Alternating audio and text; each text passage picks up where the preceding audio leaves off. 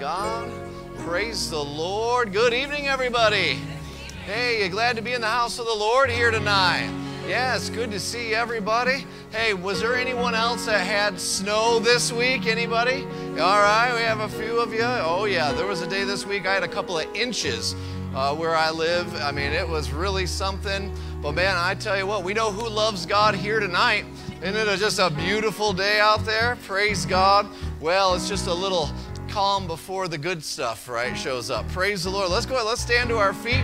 Are you ready to worship Him here tonight? Isn't it good to be in church? Isn't it good to be together? Let's praise Him. Father, we glorify you tonight. Father, we're just glad to be gathered in the name of Jesus. Come on, everybody. Hallelujah. Let's praise Him. Hallelujah. Let's praise Jesus tonight.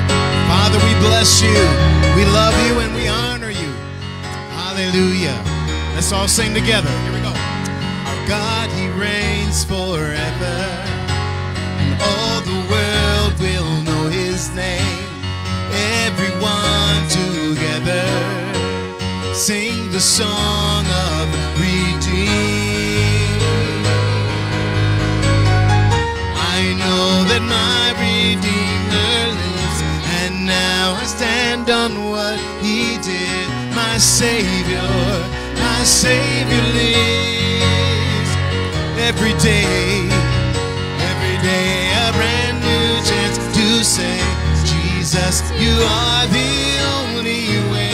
My Savior, my Savior lives. Yes, He lives. Hallelujah.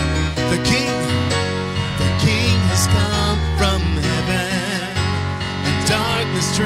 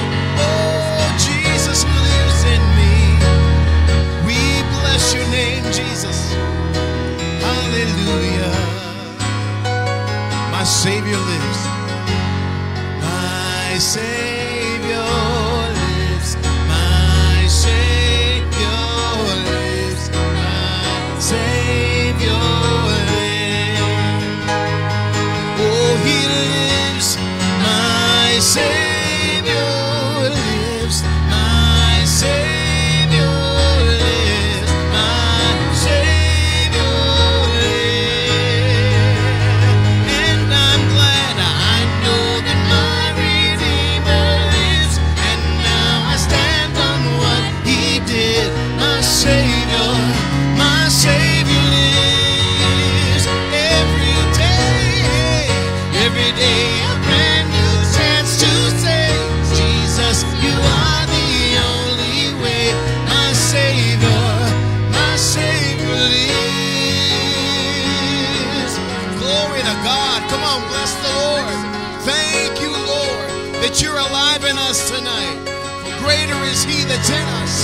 than He that's in the world. We bless you. We glory. We glorify you, God. Praise the Lord. Your name. Praise Praise you, Lord God. We just bless you tonight. We glorify you. Father, we just so are so glad that we have a living Savior. Come on, everybody. Let's praise Him. Let's worship Him here tonight. Let's lift our voices, lift our hands. Father, we're just so glad to be in the house of the Lord here tonight. Father, we're going to praise you. We're going to worship you. Father, we're going to rejoice at your word. We are gathered in the name of Jesus. Lord, we know that this is a sacred time together. We are just excited to be in our meeting time with you. Father, we bless you here tonight. We glorify you, Lord. And Father, we just pray for our nation. Father God, we pray for those that are in civic authority. Father, we pray for the president. We pray for every congressman and woman. We pray for our senators, our Supreme Court, our state and local governments. Father, regardless of our political affiliations, Father, we pray that you would lead these individuals with wisdom and righteousness, that the gospel of Jesus Christ would have free course in America. Father, we pray that your will would be done in this coming election.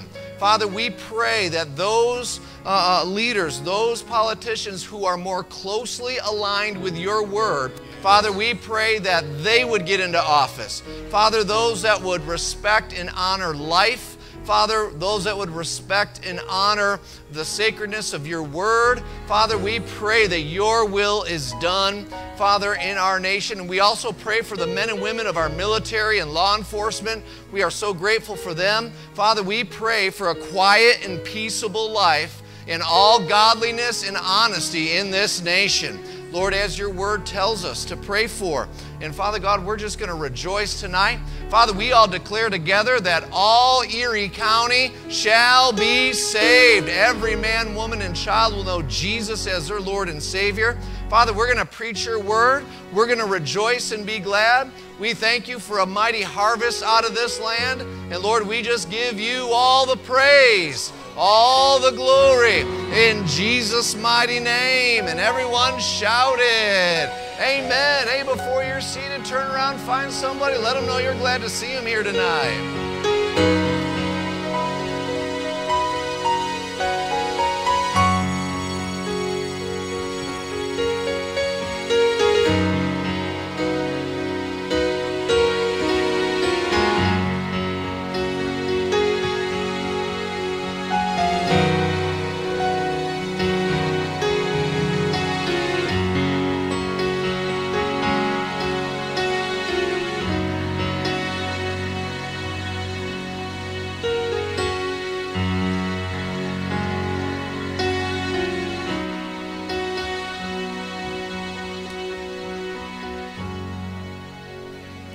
Praise God.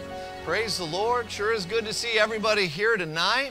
Everyone's just enjoying each other's company. Praise the Lord. Yeah, boy, they're still enjoying everybody's company. Here, here we go. Man, we should just turn my mic off and go back to green for a few more minutes. Amen. Well, that's a good thing. It's a good thing to have a, a, a, friendly church on your hands. Amen. Well, it's good to see everybody here tonight. You glad to be in church? Yes. Yeah, we enjoy being together. It's just so good to see a couple new faces here with us tonight. We welcome you to Family Church. For those of you that are visiting, my name is Pastor Tim Stahlman. We're just so glad to have you. It just means the world that you could visit with us. We just invite you to take a moment. There's a gray welcome card there in your seat with you. If you wouldn't mind uh, taking a moment to fill that out, we certainly would appreciate that. Uh, please know that whenever you give us any information here at the church, we do not sell it, distribute it, or share it with anybody. It stays right here with the church staff. Uh, we're very careful about that. We believe in protecting people's privacy and whatnot. I'm just going to send you a letter thanking you for being here. Uh, the only thing better than having you here tonight would be to have you here every Saturday at 6 p.m. We'd love to have you. If you're looking for a Bible teaching church, we'd love to be your church. And if you're wondering why right now we only have the Saturday night service, that's because I pastor two different church locations. I'm here in Erie on Saturday nights, and I'm in Jamestown uh, on Sunday mornings. And so, just so you understand why, it's not because of any different beliefs or anything that we have. Uh, praise the Lord. We believe that every day is a good day for church. Amen. Praise the Lord. So, again, we just welcome you. If you wouldn't mind uh, uh, uh dropping that uh, welcome card in the offering when it goes by here in just a few moments. There's a couple of great ways to get connected to the church on that welcome card. We do have uh, our email devotional that goes out every Tuesday. If you'd like, you know, some Bible teaching, you know, in your inbox, you can sign up for that.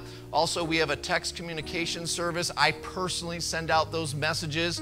Uh, all those numbers are secure in a system uh, uh, that we have. Uh, it's just a great way to get notifications from the church if there's ever a, a service time or a cancellation or something like that.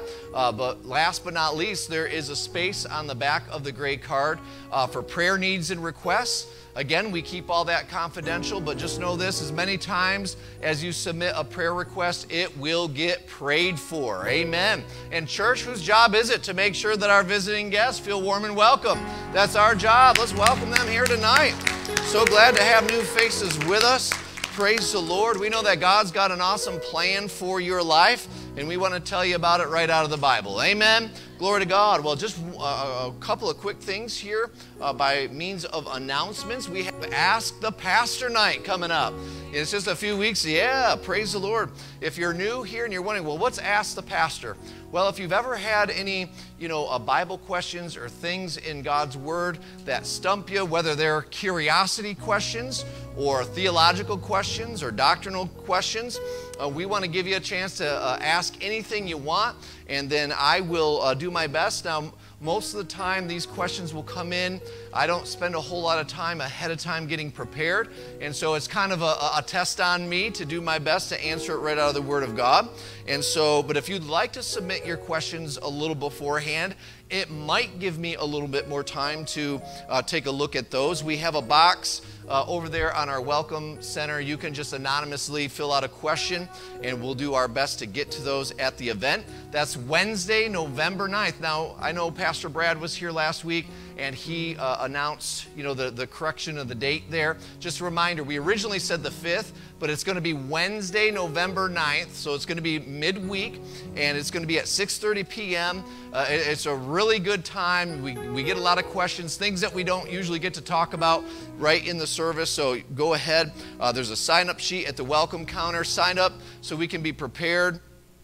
Uh, we want to know how many uh, folks to uh, plan for. Praise the Lord. And we'll have a question and answer time, and then there will be some refreshments after that just like there is every Saturday night. Don't forget, we do have the refreshments. It's not a, pay, you know, uh, refreshments. It's not for sale. It's just a time to go fellowship with some uh, folks. Uh, those refreshments are free, and uh, we know folks love to get together after service, and so you can do that uh, in our fellowship hall after tonight's service. Amen. Who's ready for tithes and offerings here tonight?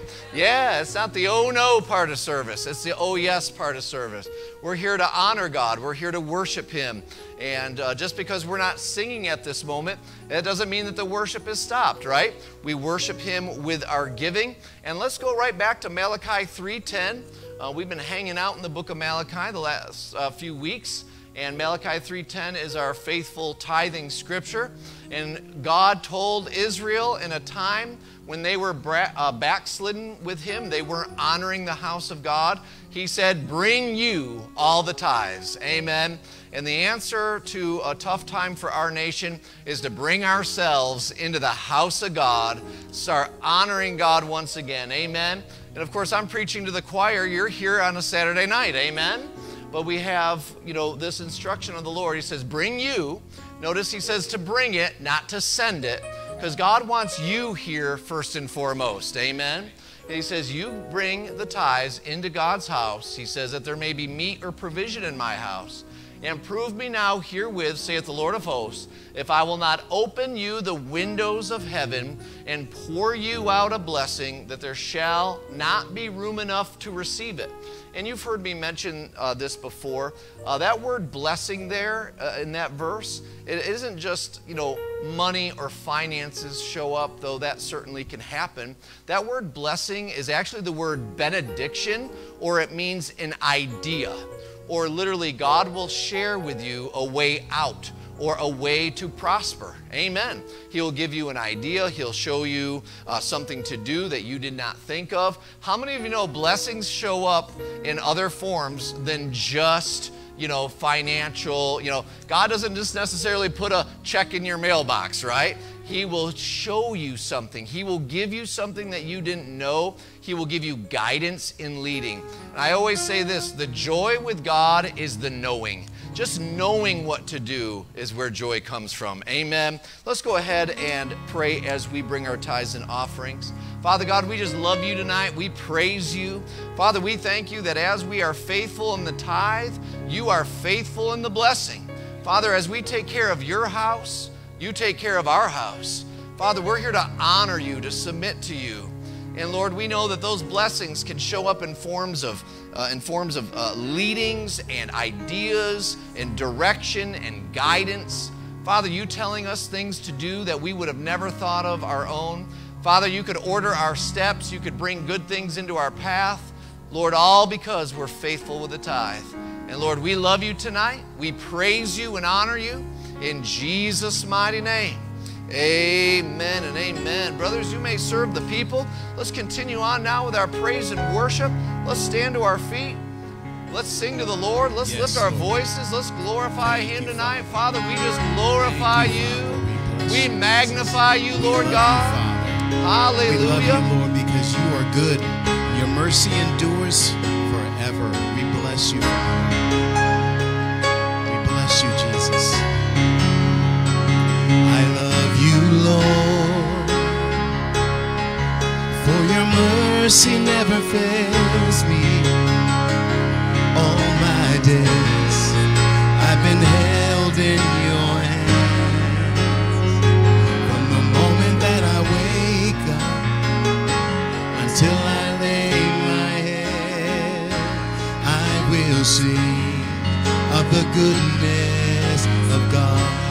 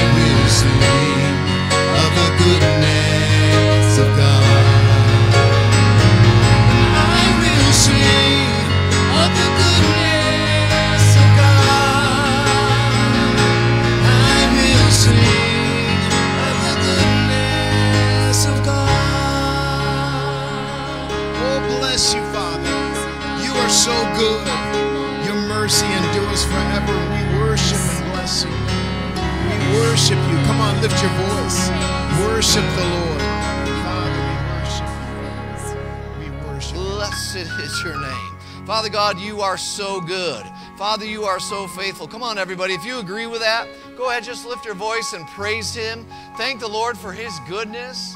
Father, you have done good things, kind things to us, for us, things that we're not even aware of at times. You are so faithful. You are so good. Father, you've kept us out of, out of harm's way. Father, you've restored us at times and we didn't even realize it. Father, there's times when we've been ungrateful. And Father, you have still been good to us. Father, you're just so wonderful. We bless you. We glorify you. Come on, everybody. Let's just lift our hands in this place and worship the Lord. Father, you are holy. You are righteous and good. We are so grateful, Father, for your kindness and your patience, and Father, for your mercy. Father, we've come to receive your word here tonight. And Lord, we're going to rejoice at your word as those who found great spoil. Father, we thank you. Lord, we just know it's a good place to be, to be in the house of God. And we just rely upon the Holy Spirit tonight to open the verses to us. Father, I pray that I speak as the oracles of God. I minister by the ability that you've placed in me, that Father, that you would receive all the praise and all the glory. Father, you are faithful, you are good. Your word is life to those that find it, health to all of our flesh. Father, we thank you. Your word will never pass away. We thank you, Lord. We're going to receive your life, your health here tonight.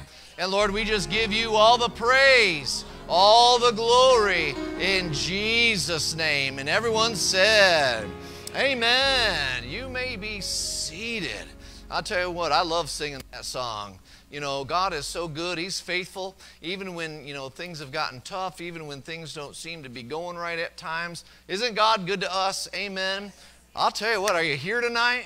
Has God been good to us? Amen. Yes, He has. Are you ready for God's Word?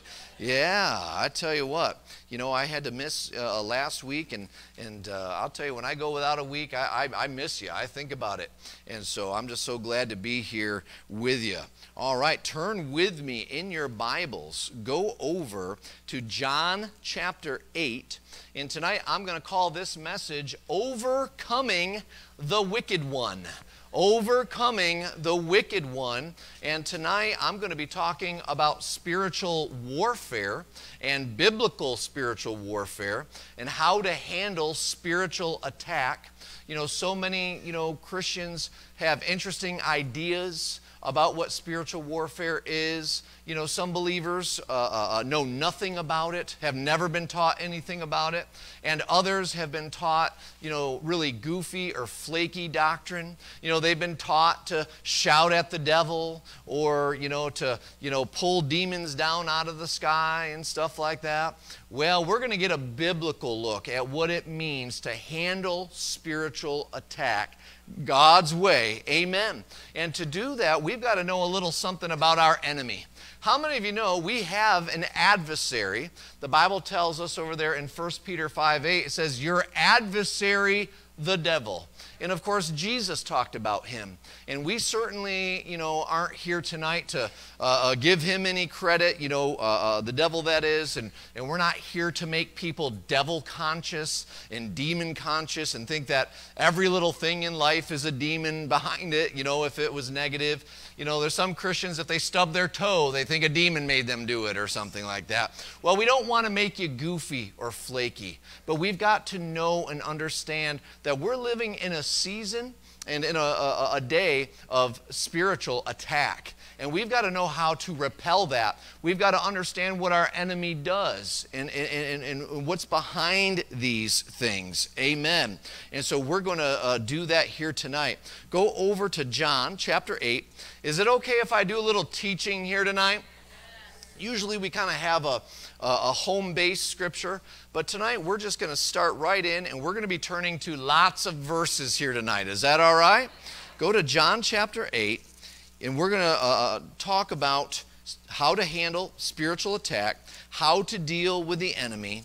Amen. Not to get, you know, goofy or flaky or anything like that. But we've got to first and foremost understand that these attacks, they are from uh, an enemy who coordinates these attacks. You know, spiritual attacks are not, you know, random. They're not by chance, but they are coordinated by an enemy who hates us. But I've got some good news for you here tonight. The enemy and our adversary, the devil that we have to contend with, we got to know this. He is very vulnerable and he has a lot of weaknesses. He's got a lot of weaknesses. And so I want to tell you all about those here tonight. Now, what we're going to do before we get into the main part of the message is I'm going to give you several facts about the adversary that we have to contend with. All right, and we're going to start right in the uh, uh, John chapter 8 with the very words of Jesus. Now, this is an interesting verse to start with. When I start reading this, please know this is not Jesus speaking to you. All right? This is Jesus speaking to the Pharisees who were trying to oppose him and Jesus was letting them know what influence they were under. Jesus talked a lot about the devil. The devil is not a metaphor. The devil is not an allegory. The devil is a real personality. He is a fallen cherub angel, the Bible says. He is very coordinated. He hates God. He hates me and you. But the good news is we do not have to lose or suffer at his hand at all. Now, let me show you this. Go to John 8 44. Jesus speaking to the Pharisees. I had to make sure to, you know, give that warning because if all of a sudden I just start saying to you, you are of your father the devil, that could really take somebody off guard, right? Jesus says to them, to these Pharisees that were trying to bring him down, he says, You are of your father the devil, meaning you are under the influence of Satan himself is what Jesus told the Pharisees, which is interesting because they were the religious leaders of the day. It can happen, right? You are of your father the devil, and the lusts of your father you will do. Isn't it interesting? Now, these, these folks, they were not following God. They were certainly not born again yet or anything like that. And uh, notice, you know, what Jesus revealed to them. He said, God is not your father. The devil is your father. Isn't that interesting? And, and, really, that's true for everybody on this earth until they make Jesus Christ the Lord of their life. All right? At that moment, God becomes your father. All right? Now, he says, Jesus is talking about the devil. He says, He was a murderer from the beginning and abode not in the truth. There was a time when the devil, his name was Lucifer, and he was a cherub angel. And there was a time, the Bible says in Ezekiel 28, it says there was a time when he ab- uh, abode in the truth of God. He wasn't made evil. He was once good, and he did not abide in the truth. And that's what Jesus is saying here. He says he was a murderer from the beginning. He did not stay in the truth because there is no truth in him. When he speaks a lie, he speaks of his own, for he, the devil, is a liar and the father of it. All right, here's fact number one that we have to know about our enemy. Number one, he's a liar or a deceiver. He's a liar and a deceiver. All right, we've got to know and understand that that is going to be the main tactic of our adversary. He's going to lie to you, and yet he's going to try to promote it as truth. I mean, he is a liar and a deceiver. He's going to bring thoughts into your life to try to tell you how worthless you are. All right? you know, he's going to, uh, uh, you know, come to you and, and, and try to tell you that he's going to cut your life short or he's going to cut your child's life short. He's going to do this. He's a liar and a deceiver. And we've got to know that he's a liar and deceiver. See, a lot of Christians, they never even learn how to discern those thoughts that bombard their mind. They never learn to one time stand up and speak to those thoughts and say, No, no, no, devil, you're a liar and you're a deceiver. And if you're telling me this, it must mean that the opposite is true. You know, the Bible says that we're the apple of God's eye. Amen. The devil will try to come in and tell you how depressed you are, how lowly you are. No, the Bible says in 1 Peter 3:10 that I can love life and see good days. Amen. Praise the Lord. You know, he's going to try to tell you he's going to cut your life short. But the Bible says that, you know, uh, uh, with long life, God will satisfy us and show us his salvation. And so a lot of Christians, they never even know how to discern those thoughts. They think that those thoughts are just coming to them randomly. Or the enemy will come and tell you, you know what, you just be better off if you just terminate your own life right now. You know, he will give you a thought and then he will blame you for having it because he's a liar and a deceiver. He'll give you thoughts of not wanting to serve God anymore and then he'll accuse you that a good Christian would never dare think that way. We know this the Bible speaks of seducing spirits. The Bible talks about seducing spirits that will be operational in the end days. Remember 1 Timothy chapter 4 and verse 1? It says that the Holy Spirit speaks expressly or urgently that in the end days some will depart from the faith, giving heed to seducing spirits and doctrines that demons teach. Isn't that interesting? A seducing spirit is just a, a demon that lies to people he tries to seduce them by telling them a lie. Hey, it would be better if you just, uh, you know, stop serving God. Oh, you know, you'd have more time on your hand. You'd enjoy life more. Go to the party, go to the bar, you know, pick up, you know, some alcohol, go get high, go do this, go do that. That's a seducing spirit trying to tell you that you would be happier doing something else than following God. That's a seducing spirit you know, a seducing spirit will, will try to tell you, oh, you could leave your spouse.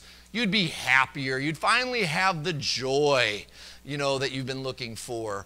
And maybe it would be completely, obviously, you know, uh, uh, uh not the plan of God, or there would be no reason to leave your spouse outside of the devil's just telling you, oh, you'd be happier. That's the kind of thing that a seducing spirit does. But Christians never learn to identify those thoughts from the enemy and to say right out of their mouth, Devil, you're a liar. I bet you I say that several times every week. Every week, a thought will come to my mind, and I will know because I know the truth. I will know and identify that thought. It didn't come from me, it didn't come from God, it came from the enemy. And I'll say, Devil, you're a liar. Devil, you're a liar.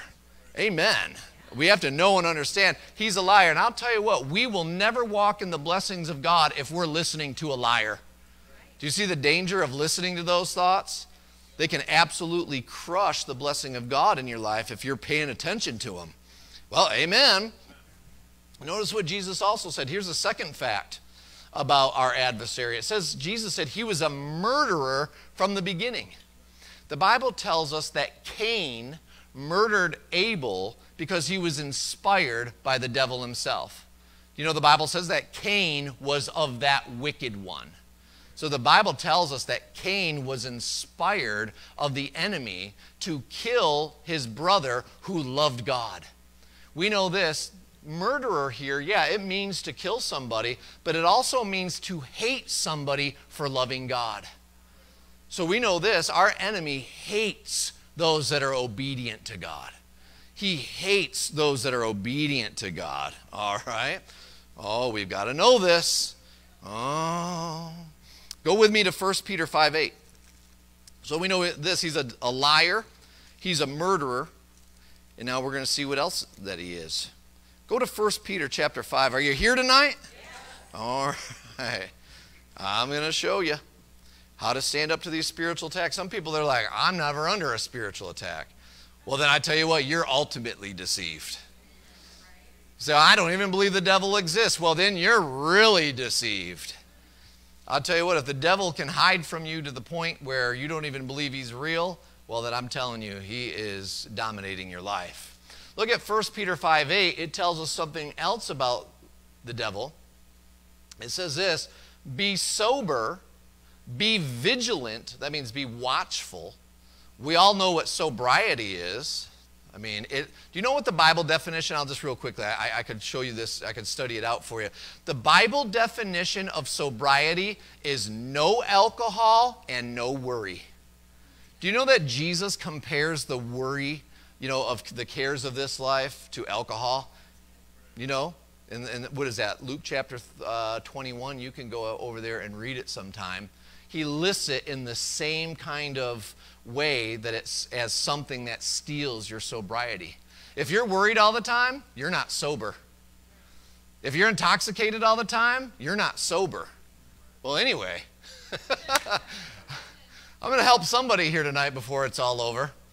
Be sober, be vigilant, because your adversary, the devil, as a roaring lion, walks about seeking whom he may devour. Now, real quickly, we'll look at verse 9 because we're going to come back to this later in the message. Go to verse 9. I just want to uh, show you what verse 9 says. Whom resist steadfast in the faith.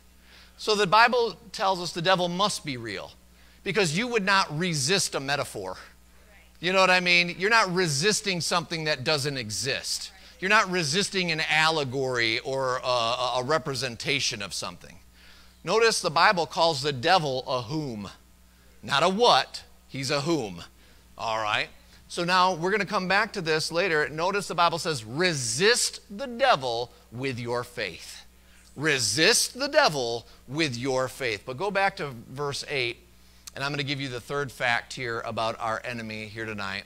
Notice it says that he goes about as a roaring lion. The Bible didn't say he is a roaring lion. It says he tries to go about like a, a, roaring lion.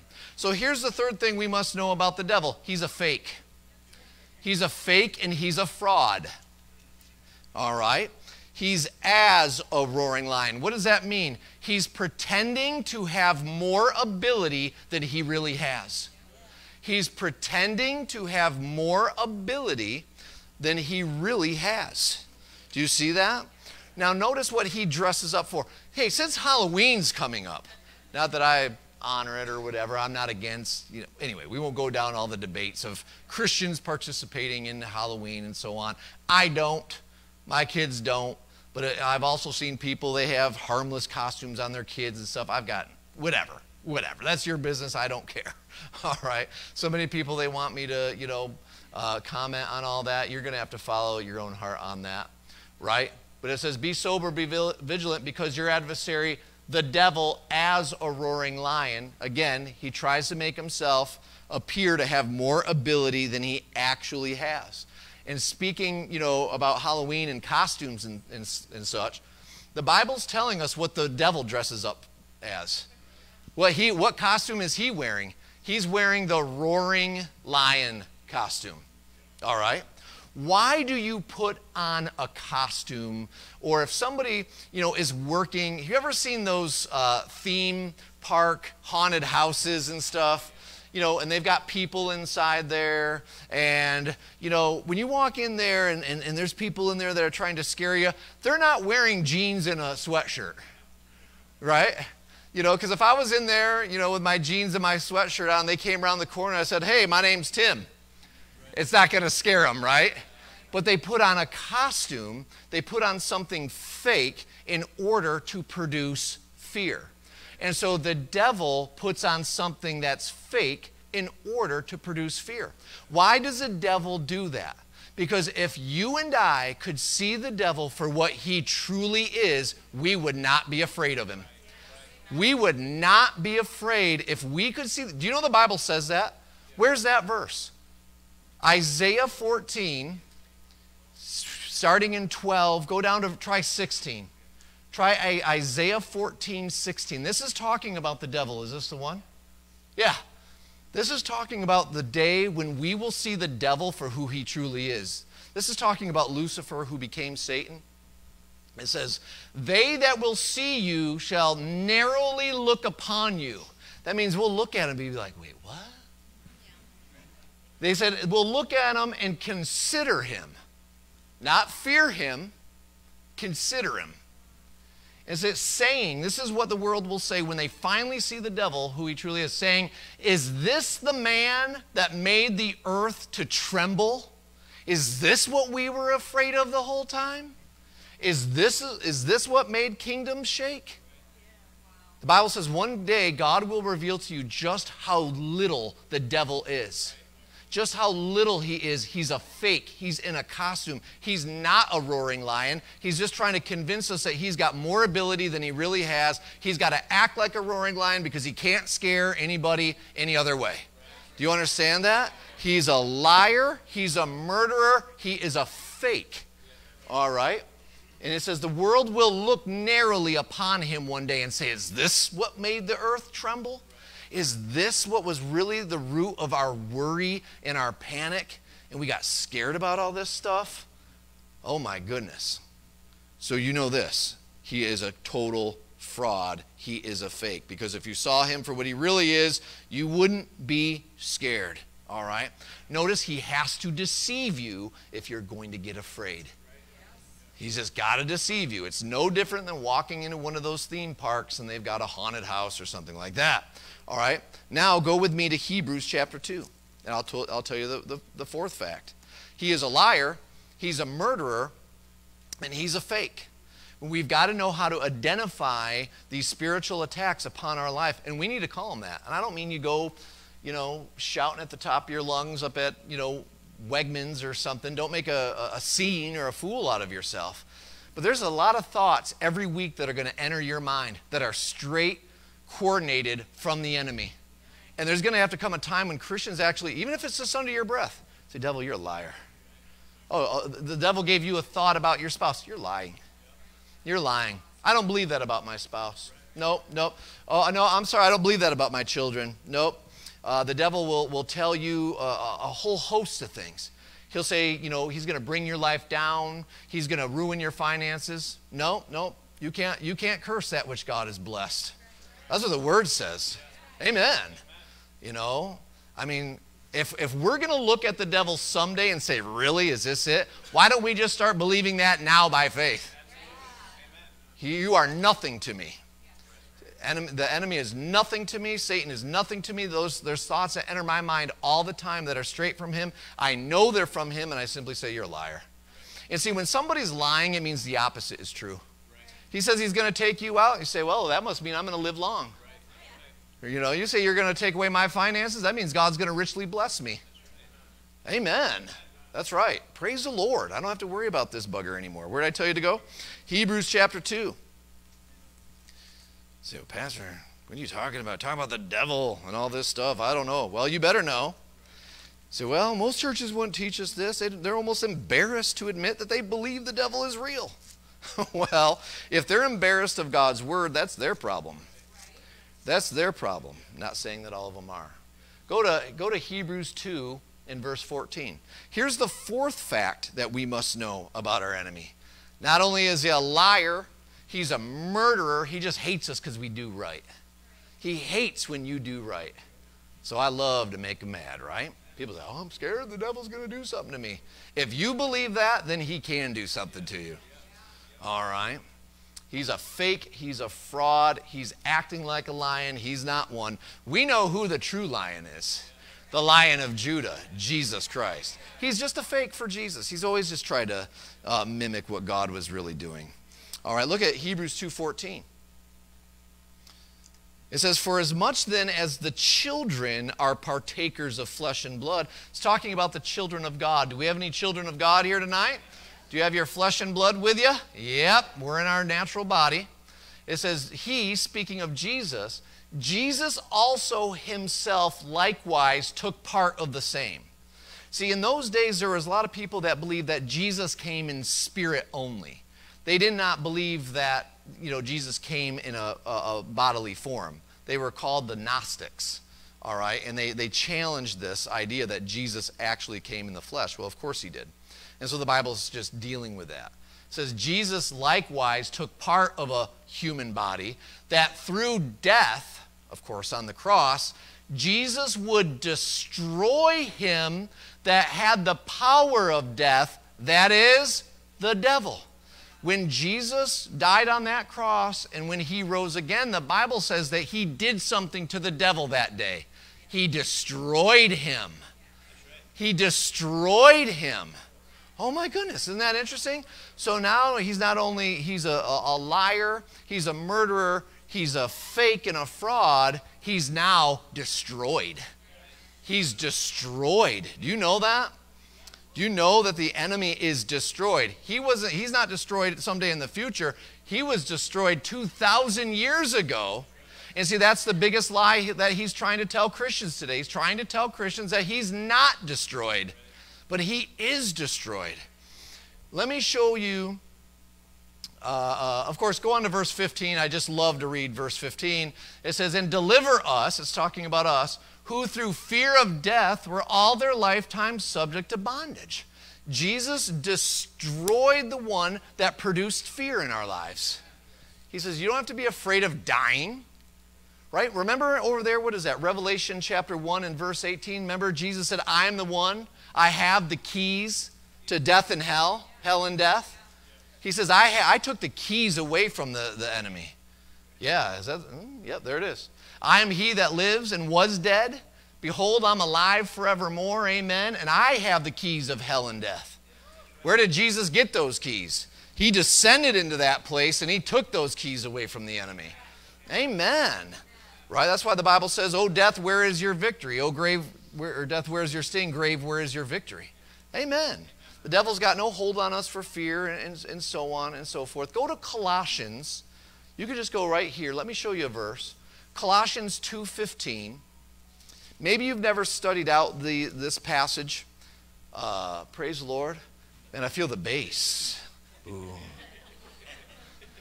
That's, that is not a car out at that stoplight out there. That is the power of God shaking the foundation of the building. So you can say, it's just like Acts chapter 4. The foundation shook. Praise the Lord. Look at this. All right. Okay, okay, okay. Go back up to verse 14. I wasn't going to start there, but I want to fill you in. Okay. Do you know that the Bible tells us in the New Testament that before Jesus died on that cross for us, there was a whole list of everything that we were guilty of. And that list, let's just say this, it's endless. All of us. All of us were, had a handwriting, uh, the law of God was against us. We were guilty, guilty, guilty, guilty, guilty. We deserved to die. And we all deserved to go to hell. But the good news is Jesus came for us. And it says this Jesus on the cross was blotting out the handwriting of ordinances that were against us. Every guilty thing on our charges, he was blotting it out, which was contrary to, to us. Jesus took it out of the way, nailing it to his cross. Isn't that awesome? Every bit of guilt and shame for all of us was nailed to that cross. Aren't you glad? What else was Jesus doing on that cross? The King James kind of leaves it a little ambiguous. Go to verse 15. Look what it says in verse 15. And Jesus, having spoiled principalities and powers, Jesus made a show of them openly, triumphing over them in the cross. All right, aren't you glad? The principalities and powers is talking about Satan and all demonic personalities. Can you bring this up in the Amplified for us? I know I'm, we're going to a lot of scriptures here tonight. I haven't even started my real message yet. God disarmed the principalities and powers, that's the devil and all demons. He disarmed them that were ranged against us, and God made a bold display and public example of them, and triumphing over them in Christ and in the cross. So, who is the devil? He's destroyed. He is a defeated foe. God has already taken him out for us. Do you realize that? Amen. So, that's the fourth fact here that we're going. Not only is he a liar, a murderer, a fake, but he's also destroyed. So, you got to know this. You got to know this. You got to know this. All right. Now, let me show you how to specifically overcome the wicked one, the Bible calls him. go to James chapter 4. Go to James chapter 4. You get anything out of this here tonight? Oh, a lot of Christians, they do not know how to actually stand in spiritual warfare. They think if they just shout loud enough, if they just, you know, cry out loud enough. No, that's not spiritual warfare necessarily. There's something that you got to do. Go to James chapter 4. Praise the Lord. I'm getting to it. There it is. Go to verse 7. Here we go. Here's what we do. Now, you can bring it up in the King James. That's fine too. Amplified works. Yeah, that, we'll just read it right there. That'll be fine. The Bible says, So be subject to God. Or literally, the King James says, Submit yourself, therefore, to God. Or literally, surrender your life to Him. All right? What does surrendering your life God, uh, to God do? It gets you on God's turf. It gets you in a place where God can reach you. And the Bible says, submit yourself to God, but do what?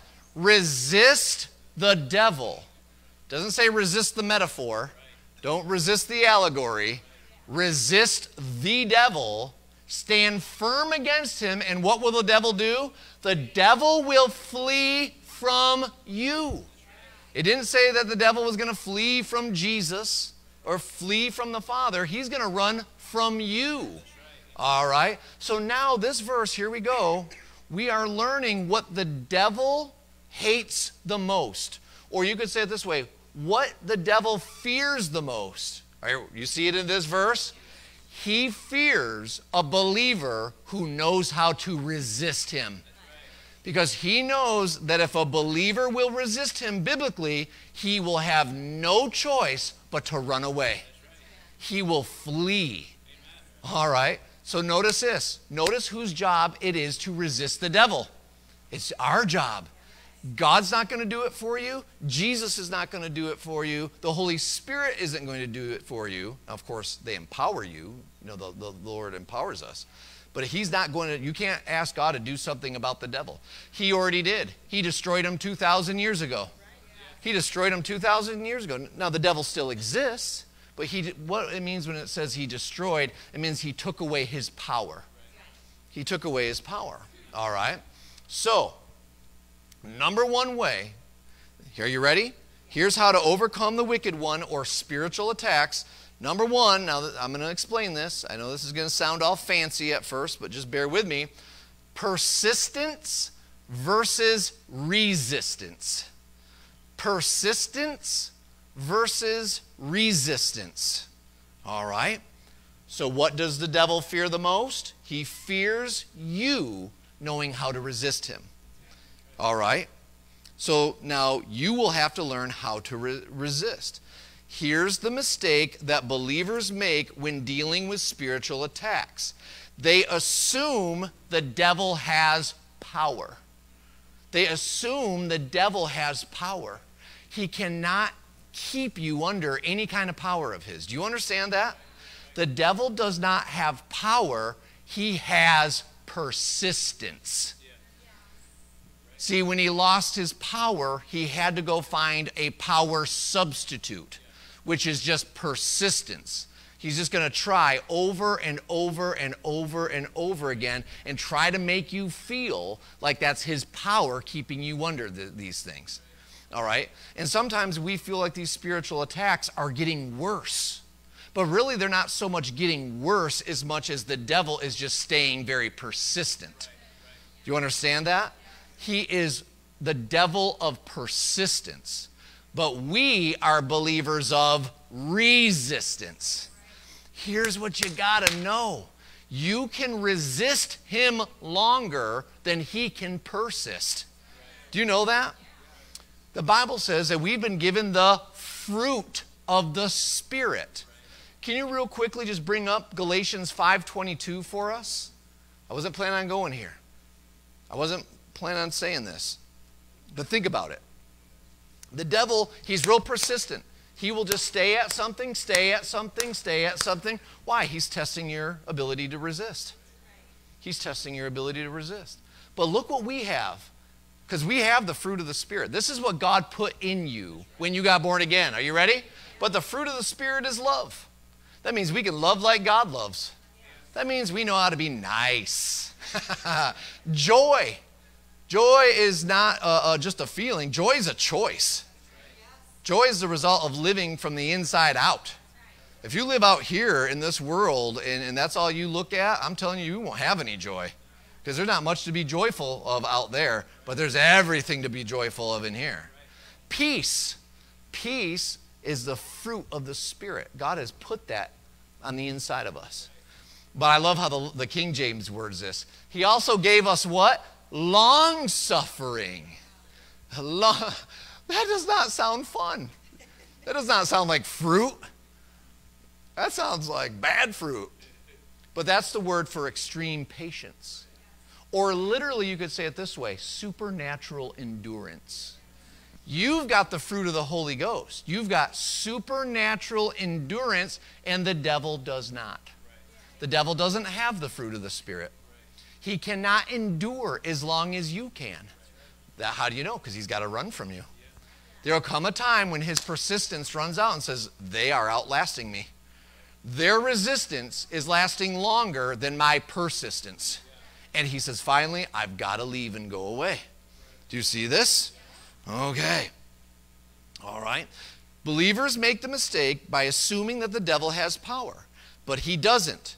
It's no longer an issue of power, it's now an issue of persistence. Do you understand this? This is the lie of the enemy. That is to convince us that his persistence is actually power. There's no power in it. All right? Like I said, it can feel like things are getting worse.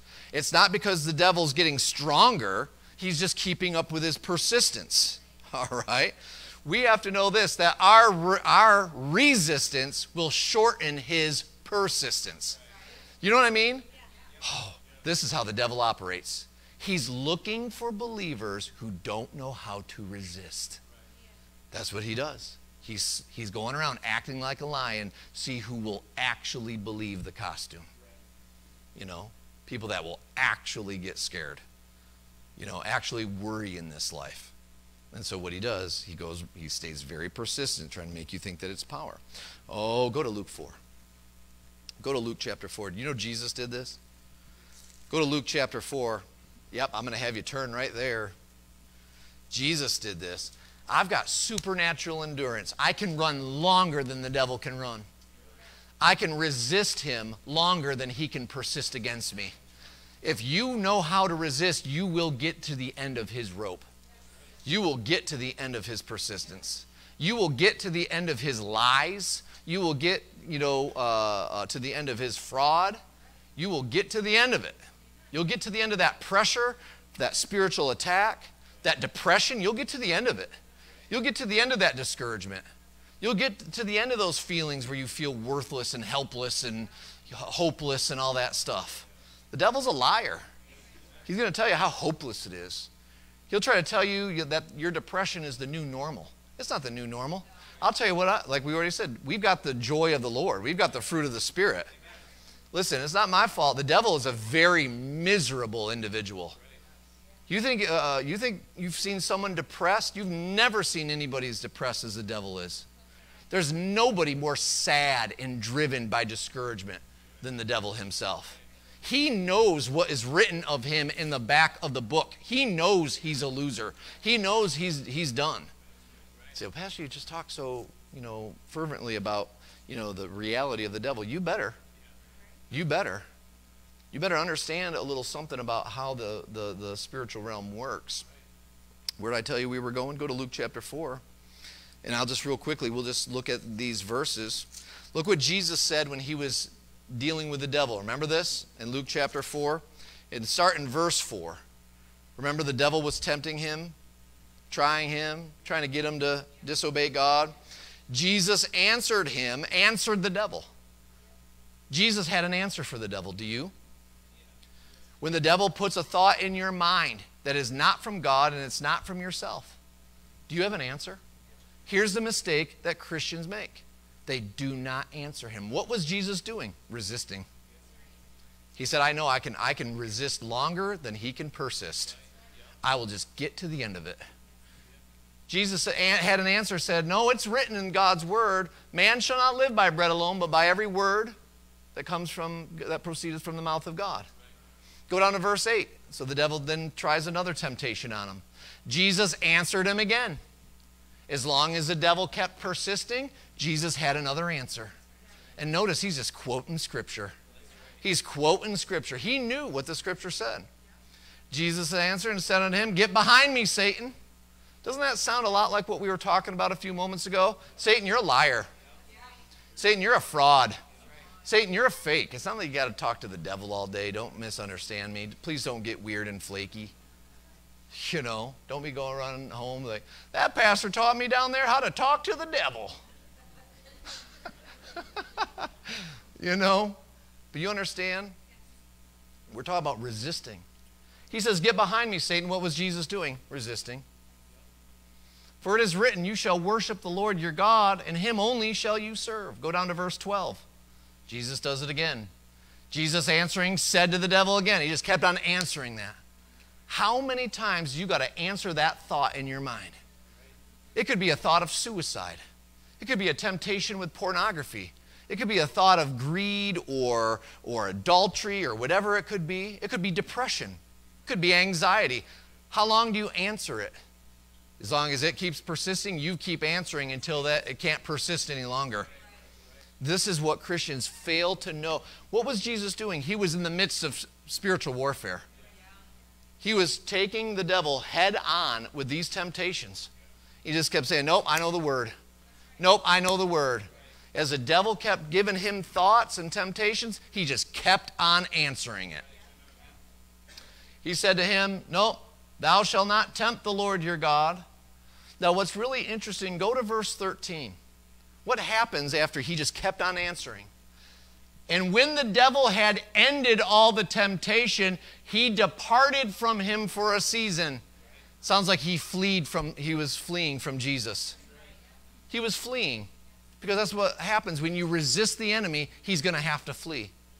Jesus just per, uh, uh, uh, he resisted until the devil could no longer persist. And it says that the devil departed. Jesus had supernatural patience, supernatural long suffering. Didn't feel good what Jesus was going through, right? It didn't feel good to get tempted like that. Doesn't feel good to go through depression. Doesn't feel good to have suicidal thoughts, right? But we persist, all right? We resist until he can no longer persist. Jesus just outlasted him. Bring this up in the Amplified. I love it in the Amplified. If you've ever never studied out this verse, look what it says in the Amplified. I love this verse in the Amplified. And when the devil had ended every, the complete cycle of temptation. Isn't that awesome? It tells you how limited the devil is. He's only got so many bullets in the gun, so to speak. You know what I mean? He's only got so many rounds he can fire. The devil ended. He got, he got the devil is not omniscient. He's, on, he's, he's not omnipotent. He runs out of ideas. Isn't that awesome? Our God never runs out of ideas. But the devil runs out of ideas. He got to the end of the complete cycle of temptation, and so he temporarily left Jesus. That is, he stood off from him until another more opportune and favorable time. Think about this. The devil's like, this was not a good time. The devil's like, I had no opportunity. This was not in my favor. I've got to leave, and hopefully I'll see another open opportunity at some point. Notice who decided whether it was a favorable environment for the devil to operate. Jesus decided that. He didn't call on God to get rid of the devil. Jesus just knew, I'm going to take away his opportunity and any favorableness to operate. It's kind of like a storm. You know, how many of you know that tornadoes cannot just pop out of nowhere? They've got to have favorable conditions, right? They've got to have humidity and, and convection and cold and warm air colliding. And, you know, yeah, I'm a meteorologist. You probably never knew that before. You're going to see me on the news, you know, pointing out the weather and all that stuff. Well, in the same way, the devil has to find a favorable atmosphere. And when he sees you, resisting, resisting, resisting. He says, This is not an opportune time. This is not favorable conditions that I can operate in. Notice Jesus decided that. In the same way, you are going to decide whether or not it's a favorable atmosphere for the devil to work in your life or not. You decide if the atmosphere is good for him or not. Can say, Well, God, where are you? Lord, make it so the devil can't operate around me. God's going to tell you it's not his job. Jesus did not turn to the Father and ask for help. He just kept on saying, It's written. It's written. It's written. And he just he had an answer for every thought and temptation that the devil brought to him. And the devil said, Well, I'm out of ideas. I can't operate here. I got to go stand far away and wait for a better time. See what the devil's doing? See how he operates? Persistence versus resistance. Resist him until he gets to the full end of that cycle. He's got no other ideas. Supernatural endurance. Amen. Every thought that comes against you. Praise the Lord. Yes. The resistance ended the devil's persistence. Yeah, like I said, the resistance made it inopportune for the devil. So this tells us more about the devil, right? He's a scavenger. He wants easy prey. Right? He cannot hold up to our resistance. He is looking for those who will put up the least resistance. And this is what happens with spiritual warfare. We've got a lot of modern day Christians who put up zero resistance to him, put up very little. All right? Now, let me show you this again. Go to Matthew chapter 12. Matthew chapter 12. Are you getting something out of this? Here we go. Go to Matthew 12 43. Remember when Jesus talked about this? About the demonic realm? About spiritual pressure, spiritual attack? Go to Matthew 12 and verse 43. Watch this. Look at what Jesus, this, these are the words of Jesus. Jesus says, When the unclean spirit is gone out of a man. Notice somebody can have an unclean spirit. That's not a godly spirit, that's an ungodly spirit. When the unclean spirit is gone out of a person, he, the spirit, walks through dry places seeking rest and findeth none. So Jesus obviously is telling us that demons are real. They are real. We don't have to be scared of them, and that's obviously the point of the message tonight. Verse 44, Jesus says, Then he says, saith, he, the, the demonic spirit, the unclean spirit says, I will return into my house from where I came out. And when he is come, now the unclean spirit finds his previous home, that, that person that he left at one point, he finds it empty, swept, and garnished. Then goeth he, this unclean spirit, and he takes with himself seven other spirits more wicked than himself. They enter in and dwell there, and the last state of that man is worse than the first. He says, Even so shall it be also with this wicked generation. He said, This wicked generation, they will get delivered of an unclean spirit. But when that spirit comes back, that spirit finds, go back up to verse 44, they find it what? Empty, swept, and garnished. What does that mean? The spirit that leaves a person, that demonic spirit that could have gotten out of somebody's life, goes and looks for you know rest and finds none and comes back and he finds it empty, swept, and garnished. What does that mean? He found no resistance. It was just, it was an empty house. There was nothing guarding it, nothing in it. No one gave it any value or importance.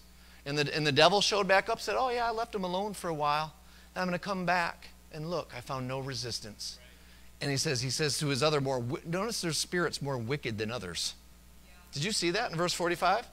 Jesus says, Then that unclean spirit tells seven more spirits more wicked than himself. Boy, don't get me going on that subject. The Bible talks about uh, spirits that are more wicked than others. That's an interesting study for a different day.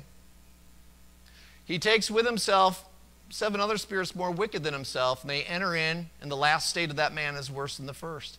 He says, Even so it will be to this wicked generation. They will get delivered from God, but they will not resist when the, the, the unclean spirit of their past comes back. Folks, we've got to know and understand this. if you've had trouble in areas before, and even though you've gotten free from those things, those things will try to show back up at your door. But see, when they show back up, you need to be prepared to resist. Resist. And I'm going to demonstrate what resisting is and what it looks like and so on. All right? But I just wanted you to see there. Now, remember, can you remember when we looked at 1 Peter 5 9 at the beginning? You can bring that up just on the screen. Remember how verse 8 was talking about our adversary, you know, be sober, be vigilant, for our adversary, the devil, as a roaring lion, goeth about seeking whom he may devour. Verse 9, whom resist steadfast in the faith. All right, so now we're starting to get more specific about how to resist. When that unclean spirit came back to that man, he found no faith confession to resist. We resist Satan with faith. With faith. Remember, faith is when we believe, therefore we speak. What is that verse? The spirit of faith. 1 Corinthians or 2 Corinthians 4:13? Is it 1, 1 Corinthians 4:13? 2 Corinthians 4:13, Reverend Tony says. So if, he, if he's wrong?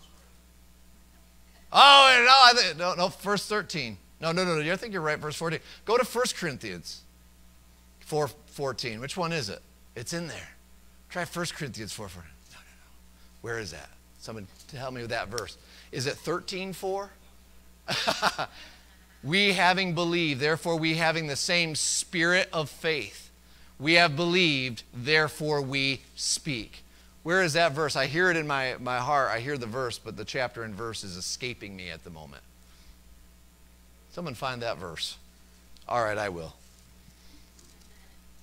All right, Google. I don't know. Praise the Lord. I want to I, I want to find that verse. 413. Oh, we were one verse away. Go back up. Second Corinthians 4:13. So Reverend Tony was right. He got it. There we go. See, never question that man of God over there, right there. Second Corinthians 4:13. We were right there. We were right in the neighborhood. Second Corinthians. He's working on it. Let his fingers do the walking back there. We, the see, we were right there, weren't we? We having the same spirit of faith. Do you have the spirit of faith? Well, the Bible tells us. Do you know that word spirit there? It actually means the vitality or the vital signs of faith. How do you tell when somebody is alive? You check their vital signs. How do you know when your faith is alive? You check its vital signs. We having the vital signs of faith, according as it is written, I believed and therefore I have spoken. We also believe and therefore we speak. Your faith is not alive until it speaks. See, this is what the Bible's talking about. This is how we resist the devil in our faith. We speak. We speak. Amen. What did Jesus do? He spoke. He spoke the word of God. He said, Nope, devil, you're a liar. It is written. Nope, get behind me, Satan. It is written. Nope, that's not true. It is written. Jesus didn't just think those things, he spoke those things. What was he doing? Resisting with the spirit of faith. Oh, amen. Now, we're going to end right here. And so now I'm starting to demonstrate what this resistance looks like. Let me show you literally how this happens. Go with me to Ephesians chapter 6. Go to Ephesians chapter 6, and I'm going to demonstrate this some more here in just a moment. Go to Ephesians. Have you ever looked at the arsenal of the devil? Have you ever looked at the weapon? The Bible describes one weapon that the devil has. I mean, literally a weapon. I'm not talking about just fear and, and that. Do you know what the weapon of the devil is? When he comes to a fight, do you know what he brings? Let me show you. Let me show you this. Go to Ephesians chapter 6. Praise the Lord. Oh man, this weapon is really something. Oh boy. I'm getting sarcastic now. Oh boy, go to Ephesians. You're in 6 6. No, go down to verse mm, 16. Let's make it short. Go to Ephesians 6 16. Watch this. telling us about the weapons of our warfare, talking about what we have on our side. This is talking about us. Above all, we take the shield of faith. Isn't that what we were just talking? The shield of faith is what? The spirit of faith. I've believed, therefore I speak. The devil will put a thought in my mind saying, You're going to die young. And I say, No. Psalm 91 16 says, With long life he satisfies me and shows me his salvation. No. Uh, Exodus 23 26 says, The Lord will give me the full number of my days. Amen. Praise the Lord. How many of you know long life is a blessing from God? All right? So that's a, when I say that. You know, uh, uh when the devil tries to tell me something about my kids, I, I quote Psalm 112. Said, No, my kids are mighty seed upon the earth. They're the generation of the upright, and they're blessed. Wealth and riches shall be in their house, and their righteousness shall endure forever. That's what the word says. When I get that thought that comes in and bombards my mind, instantly I start to speak. I don't just think, well, no. I don't just think up in my mind silently. No, the Bible says something different. I'll say it. I won't necessarily scream it off, you know, from the rooftop.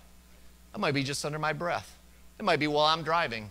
I might be sitting in my office. My wife might be there with me. You know, and it's always fun, you know, when she all of a sudden hears me to start, you know, casting down thoughts or something. But she knows and understands. You know, I'll say, no, no. You know, and I'll, I'll speak that verse. No, with long life you satisfy me. No. My children are mighty seed upon the earth. They're the generation of the upright, and they're blessed. Amen. The Bible says that they will, uh, uh, uh they're like uh, arrows in the hand of a mighty warrior, and they're going to tear down the enemy's gate right? Psalm 127. You know, praise the Lord. All your children are taught of the Lord. Amen. Bible says. And so what is that? That is me resisting. Even if I'm just whispering it, guess what? What it is? It's me whispering. One whispered word of faith has more power than anything the devil could ever shout. One word of whispered faith has more power than anything the devil could shout. See, that's why Christians, when they're shouting at the devil, they don't believe. Shouting at the devil is not an act of faith, it's an act of disbelief. If you've ever been familiar with these places that teach that, ah, ah, they, they, they believe that the louder you get with the devil, then he's got to obey. No, no, no. If you believe the word, God doesn't do that. God told, you know, Elijah, Elisha, he said, no, I wasn't in the, the earthquake. No, I wasn't in the fire. He said, but I speak to you with a still small voice. Why? Because God said, I whisper to you, Elijah, because that means we're close. You, you know, you can, if you're whispering to somebody, you got to be close to them, right? In the same way, I believe God's word, I don't have, it's not volume that makes it powerful, it's belief that makes it powerful. Do you understand that? And so if I just simply say, no, devil, that's a lie, with long life, no, I don't take that thought saying, no, I'm not going to, Lord, but my God shall supply all my needs according to his riches and glory by Christ Jesus. I lack no good thing. No, he's given me the power uh, to get wealth, that he may establish his covenant with me as he did with my forefathers. Amen. What is that? You don't have to be animated about it, you just have to believe it. Taking the shield of faith. Now, oh, so you've got the shield of faith, wherewith you shall be able to quench this huge, powerful uh, uh, arsenal to quench all the nuclear missiles of the wicked one. No, not, not nuclear missiles. Not even cruise missiles. Fiery darts. Fiery darts. The devil is like, I've got darts. And I'm going to sharpen my darts. And I'm going to I'm going to light them on fire if I have to, and I'm going to throw darts at you. How many darts would you have to really get hit by before it would kill you? A thousand? Maybe, um, I mean, maybe you could get hit with 10,000 of them and it wouldn't even kill you. See this big, powerful thing? But remember, he's, he's still talking about what we have versus what he, he has. Look at verse 17. He says, You've got a shield of faith. He's got darts that are on fire he, he says, Take the helmet of salvation and take the sword of the Spirit, which is the Word of God. So God looks at you and He sees you with a shield, And when the devil comes and says, I've got, I've got a sharp dart, oh, not only that, I'm going to light it on fire, you're sitting there the whole time, oh, yeah? Shwink! You ever heard a sword coming out of the. Shwink! Do you see how stupid this enemy is of ours? He brings a dart to a sword fight. God is showing you, He's like, you've got armor on your head. You've got a shield. You've got a sword. And He's just got this little dart that He's trying to light on fire. But a lot of Christians, they sit there and they get hit dart after dart after dart until their life becomes a, a, a you know, a flame and fire. You know what I mean? Just a hot mess in life you know, because they just sat there. Their shield was on their side the whole time, their, their, their sword was there the whole time, and somebody's just sitting there attacking them with darts. When will the body of Christ take that shield, put it out in front of them, pull that sword? Because that's a picture of a Roman, that's a picture of a Roman soldier. And those Roman soldiers, when those shields came up and those swords came out, they were the ones advancing. And somebody else was fleeing. There's got to come a time where the body of Christ is going to start resisting and say, No, in Jesus' name, I am the heel of the Lord. Devil, you're a liar. Devil, you're a fake and a fraud. You know, that's not true because it is written in the word that, uh, bless the Lord, O my soul, I forget not all of his benefits, who forgives all my sins and heals all my diseases. Glory to God. No, I will fulfill the full number of my days. Hallelujah. What is that? Get that shield up and stop being so concerned about an enemy who has darts when you've got a sword. Amen. He says, You've got a helmet, you've got a shield, you've got a sword, and then earlier he says, You've got protection on your feet, and you've got this, this, this guard upon your, your, your, your legs, and all this stuff. And then your, your little enemy. See, the Bible is constantly trying to show us what we look like in the spirit versus what the enemy looks like. You know, is this the one that I should be scared of? He's got these darts. He can light them on fire all he wants. You know what I mean? If the, if, if the enemy, oh, if he would hear the spirit of faith coming from his people, we would, I'll tell you what, we would resist until we are at the end of every cycle of temptation. Amen. Are you getting something out of this? Now we'll end here. I'll show you what those fiery darts are. Go to 2 Corinthians 10. Here's where spiritual warfare takes place. I've been talking about it all night, but I just want to show you the scripture. Go to 2 Corinthians chapter 10. We'll start in verse 3. Hallelujah. They will narrowly, narrowly look upon that old devil and they'll say, Is this the one that we were afraid of? Is this is what scared us so bad? This liar, this deceiver, this fake, this fraud, this murderer this defeated foe, this one that really has no power, he just has persistence and lies. Come on now, this is how you handle spiritual attack. Now, here's specifically what it looks like and what it says in the Word. 2 Corinthians 10:3 says, For though we walk in the flesh, we do not what? War after the flesh. See, that sounds a lot like what Paul told the Ephesians in uh, Ephesians 6:12. He says, "We wrestle not against flesh and blood." So we don't, you know, people are not our problem. There is actually a real demonic realm that opposes us. And now he says we don't walk in the flesh, or we, we walk in the flesh, or we live in the flesh, but we're not warring after the flesh. All right, so now we see that word war. Oh boy. A lot of Christians, they take that verse, they're like, yeah. there used to be people on TV that were uh, spiritual warfare experts, and they were dressing in fatigues in camouflage and making fools out of themselves. You know, thinking that, yeah, uh, the devil does not really care what camouflage you're wearing. All right? He just, he does not like the word of faith coming out of your mouth. Verse 4, though, and it tells us, though, Look at this. For the weapons of our warfare are not carnal or natural, but mighty through God to the pulling down of strongholds. Everyone say strongholds. See, that's where a lot of Christians stop. They stop right there. They say, see, there are strongholds. There's demons in the air, and we've got to pull them down. It's nonsense.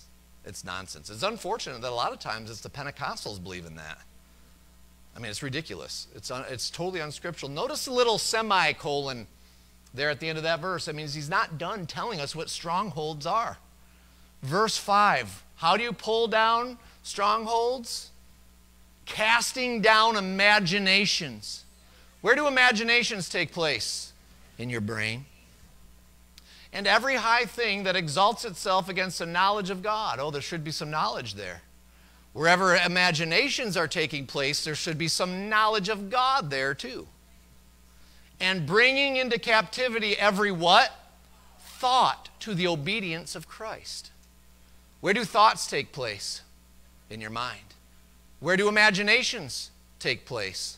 In your mind. Where do strongholds take place? In your mind. In your mind. Folks, the devil cannot get into your spirit. He is not going to get into your spirit. He cannot rule your spirit. But you know that even when you got saved, your mind did not get born again. The devil comes after the thought life. What does he do? He shoots fiery darts into your life. He has no real power, so he just has the power of suggestion. He can only, you ever have thoughts zing through your mind? Like, good Lord, where'd that come from? You ever had a, an imagination? Oh, don't tell me you haven't. An imagination is just an animated thought. An imagination is just a thought that also has a picture with it. You ever had pictures shoot through your mind? You're thinking, oh my Lord. All of a sudden, I mean, the devil will shoot a fiery dart through your mind. You'll see yourself dead, or you'll see a loved one dead. He'll, he'll shoot a, a, a, a thought through your mind, and you'll see yourself with a, you know, leaving your spouse and with another person. He'll shoot a, a, thought through uh, your mind. He'll show you what cheating on your taxes look like. right. I thought, thank you. I appreciate that. I thought that was kind of good myself, you know. No, I'm kidding. I'm kidding. I'm joking.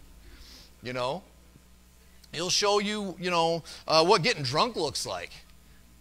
You know, I mean, my goodness, that was my old life. I never went back uh, to it. My last drink was January the 18th of 2003. But you know, every so often, the devil will shoot a picture through my mind of me sitting at the bar getting drunk. I say, no, that was the old life. And I said, have you not forgotten? It is written, if any man be in Christ, he is a new creation. Stop talking to the new creation about the old one. All things are new, old things have passed away. Devil, stop telling me, stop reminding me of what my old dead self looked like. Amen. Hey, I mean, what would that do for so many people? They are so caught up in their past and the troubles. What if you said, Devil, you're a liar. I'm a new creation in Christ. Old things have passed away, all things have become new. I'm not even that person anymore. I don't think that way. I don't do those things anymore. Sorry, devil, you're at the wrong address. You must be thinking about somebody else. See, spiritual warfare, see, the Bible tells us if we give heed to the wrong thought, if we start giving heed to the wrong imagination, they will become strongholds in, their, in our life. A thought is the first step. You get a thought that comes through your mind. Let's take, uh, like, you know, cheating on your spouse, for example. The devil will shoot a, a, you know, a thought through your mind, you know, just giving you a thought of what that would be like and then he'll shoot an imagination through your mind. But if you sit there and you dwell on that and you say, okay, well, uh, what would that be like? How would I carry that out? Who would that be with? And you start to allow it to dominate your thoughts. Then, when you act out that pattern of thought, you've now entered into a stronghold. A stronghold is a pattern of thinking that is against God. See? Casting down imaginations and every high thing that exalts itself against the knowledge of God. Do you see this war that's taking place in your mind every day? It is you casting those thoughts down. It's like a nonstop king of the hill battle in there. You cast those imaginations down. And then, you know, anything that exalts itself above the knowledge of God, you cast it down. And then something else tries to come in and take its place. You cast it down again. Do you see what spiritual warfare is? It is not a matter of how loud you can get with the devil or how many demons you can pull down from the skies. That is nonsense. Actually, when people do that, they will give themselves more to the enemy. What spiritual warfare is, is keeping those imaginations and those thoughts in here, keep them down. The devil say, You should be mad at your wife. Look what she did. Or you should be mad at your husband. He's ignoring you. Cast it down. No, I, no, I walk in forgiveness. No, I won't take that thought. Oh, no, no, no. You, you, you, you should be scared. Uh, you aren't going to have enough money uh, for the mortgage payment. No, but my God shall supply all my needs. See how it's this constant, like, you know, it's like, you know, God, you know, all of a sudden something comes and takes over the knowledge of God. You bring it down. Something else comes and tries to take over. See, winning in the thought life, this is what spiritual warfare is.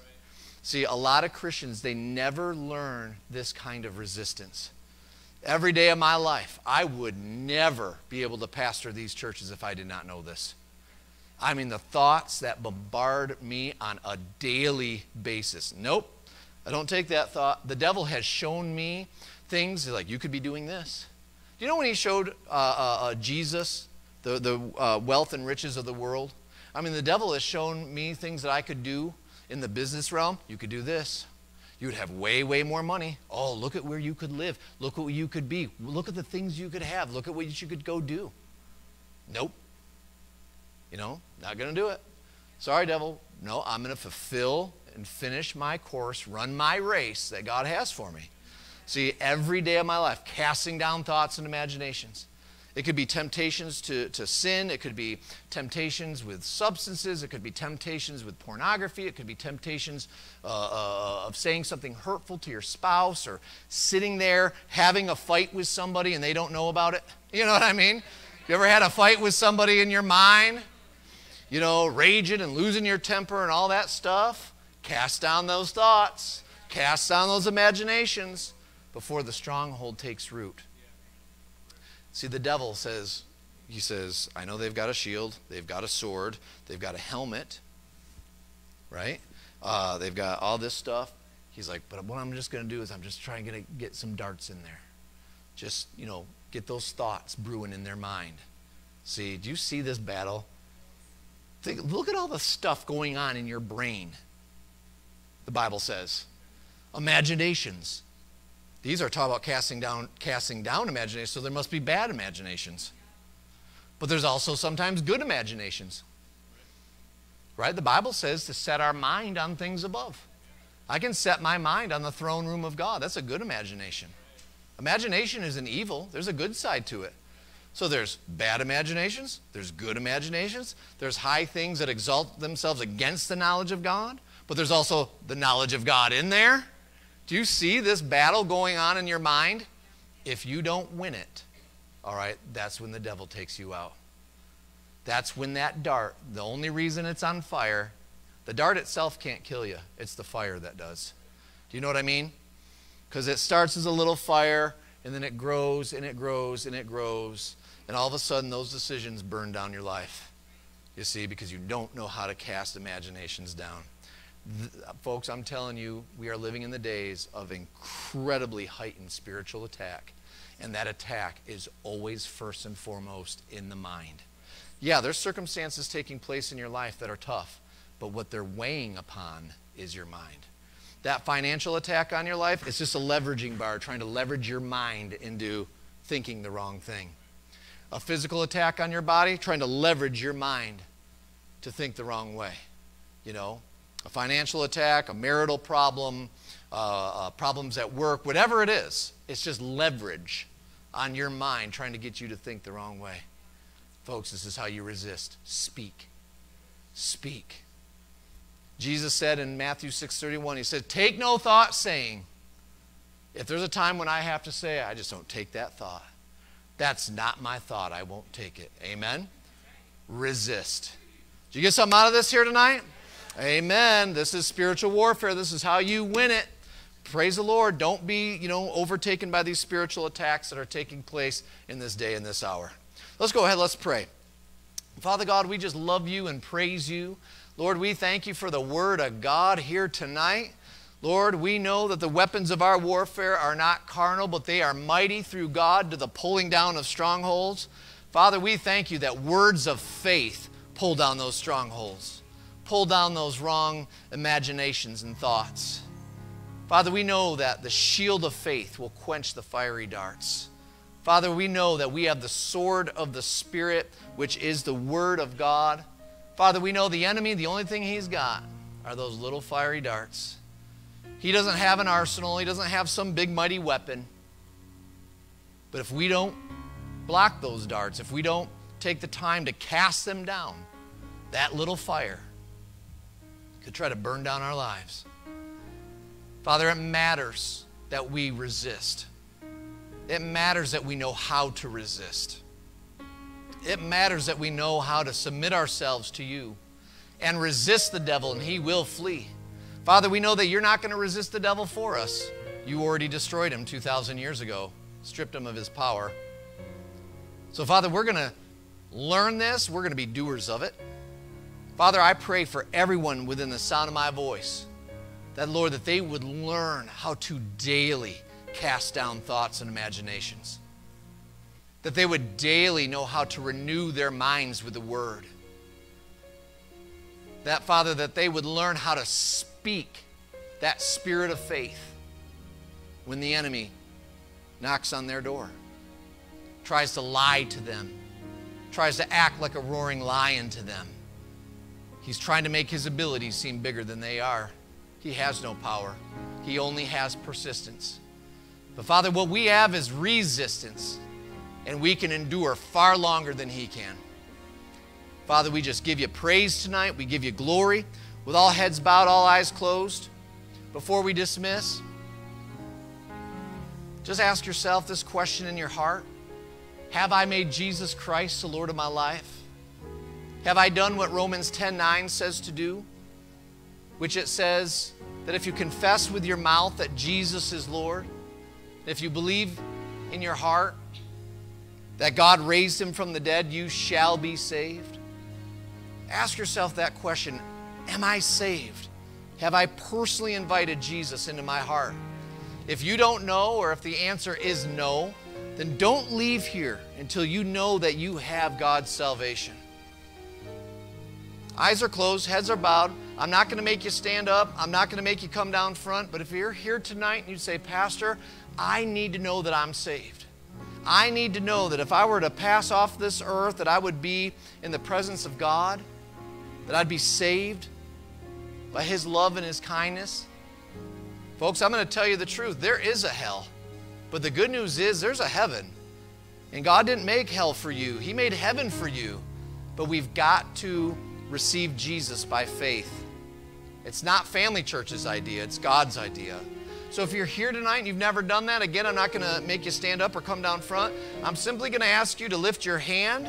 And when I see your hand, I'll have you put it right back down, and then I'll lead us all in a prayer. Right there in your seat, you can pray and ask Jesus to be your Lord and Savior. But if that's you, could you just be bold enough for one second just to lift your hand? Is there anyone here tonight say, Yes, Pastor, that's me. I want to be saved. I want to know that heaven's my home. If that's you, just lift your hand up long enough so I can see it? Is there anybody? God loves you, He's not mad at you. I don't see any hands. I just want to tell you, God's got an awesome plan for your life. Anyone before we are done praying that you'd like to receive Jesus as your Lord and Savior? Something on the inside of you is telling you to respond. I know sometimes it seems like you know, the preacher's going to make a spectacle of you. Please know that I won't. Eyes are closed, heads are bowed. I just want to know who I'm praying for. It's an act of, you know, stepping towards God just to lift that hand. Is there anybody here that you know you need to respond and you haven't? Father God, I don't see any hands, so Lord, I just pray that, Father, if there's somebody within the sound of my voice that have never made Jesus their Lord, I pray that they would not leave this earth until they do. Father, we just love you. We praise you. Lord, we know what to do now. We know when that pressure is against us and those thoughts rage in our mind. We know what to do. We got to do it. And Father, we just give you the praise and the glory in Jesus' name. Amen and amen. Let's stand to our feet. Folks, I so appreciate you, you know, being patient. I know we went a little bit longer here tonight. But, folks, it's good to be in a place where we get taught what to do. We need to know what to do. Let's just give God the glory and we'll be dismissed. Father, we just praise you tonight. We glorify you tonight. Lord, I pray your blessing upon each one that is here. Father, every family represented. And Father, we just give you all the praise, all the glory in Jesus' mighty name. And everyone shouted, Amen. You are dismissed.